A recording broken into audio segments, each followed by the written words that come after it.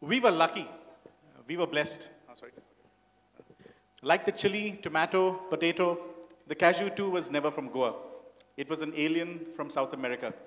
And this alien hopped across oceans, hopped across, hopped across continents, sailed across oceans, and finally reached Goa. And who knows what happened after that? Nobody knows.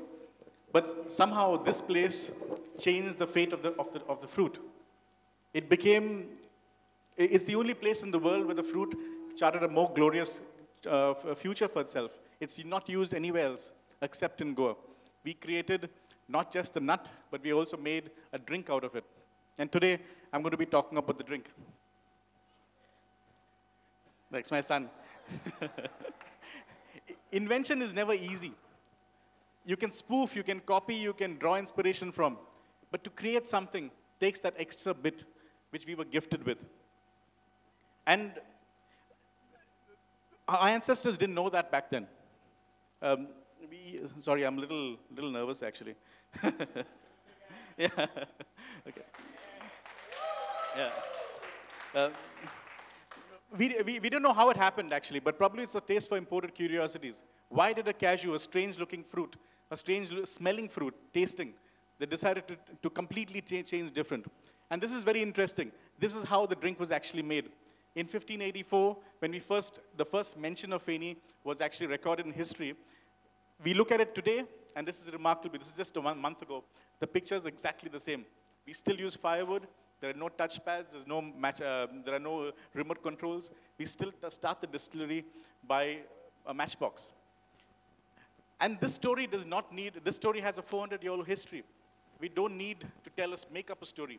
A lot of brands need to create stories. A lot of drinks need to create a narrative.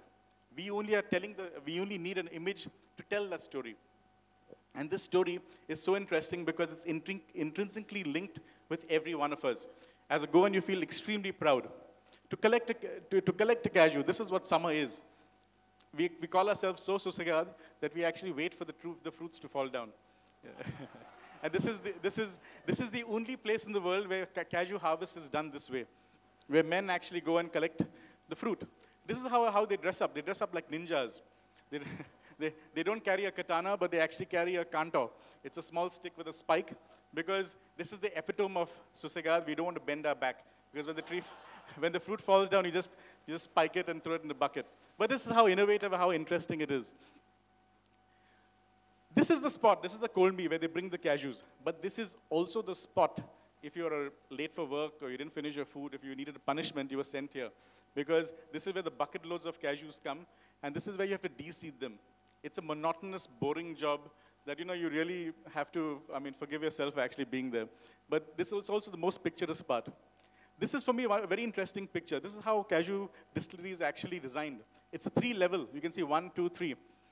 If you have any imaginations of seeing French maidens lifting up their skirts with white-skinned legs, you, you, you'd be damned. because, because this is just, we have curly-haired, dark-haired men doing that. Yeah. Yeah. This is also, we, uh, uh, Sujit spoke about it, but this is a drink that does not use any yeast. We don't use any nutrients. We don't add any, any catalysts. We add nothing that is not naturally present. And this is huge. For me, I describe it like sitting on a, on a wild buffalo, trying to, try, trying to tame it. It's impossible to do it. You can only manage it by watching it. And this is what Anton does. This is my distiller. Look at his face. It's craft. He's working, he's working with knowledge that is uh, that, is, that is passed on from generation to generation. His, and and the, the fascinating part about this is when you become a distiller, you take the vocation never to drink. I'm not a distiller because, uh, because it's a vocation because drinking is an occupational hazard. And, and this information is, is percolating down generations, distilled to finally a point where you actually can make a drink by just watching it. And so they say winemaking is an art. You know, you got to be snobbish little French. Whiskey making is a science because it's perfect. And Feni making is pure magic because, because, because time is measured by BDs and cigar smokes. Volume is measured by pots. We still use pots. We start the fire with a matchbox. And, and, and believe it or not, alcohol strength is de determined by actually looking at it and smelling it, which is fascinating. People really don't, it's a power of observation that we've all lost. We never use oak to age Feni because there's uh, Feni as a drink is very robust. It's got a long enduring finish. It's got a lot of taste. So you can just store it in glass. You don't need to add anything to it. So we rest it for a year traditionally, and we keep it. And that, that's how we always did it. Now, of course, we don't use it as much as we, utility, the utility of this is lost. This is a very poignant picture, actually. This picture is, this is, uh, 10 years ago, I realized there was something going wrong. And, the, and the, what went wrong was everyone, when they wanted to have a drink, Feni was not their first choice. They picked up a whiskey, vodka, everything else. We got 19 different types of Feni, and they weren't picking it up because we had an image problem. An image, like reputation, has the power to convince irrespective of the truth. And, and so we needed to elevate the image. So we created something called the, the, the Becker the Garofage, which is the, um, the, the Feni cellar. We want to add a, add a little sophistication, remove those thoughts of unsophisticated, harsh, rough, all those things have to be removed. Because we're trying to infuse the actual culture and, and restore it to make you think that this drink is a lot better. So we, we bring people in, we get them to sit, we talk about the drink, we talk about the story about Feni. We, we, we, give them an experience in the ambience of a distillery where you actually are able to think Feni is not no, no longer the drink that I actually imagined it to be. Because the reputation of the drink in your glass and it, what's in your mind is completely different. And we're trying to demystify that. And so it's, it's been a huge journey. We, we've got 19 types of Feni. The 19th type is the most interesting. I've never tasted it. It's called a Jackal's Feni. They actually skin a jackal, they chop it up, and distill it.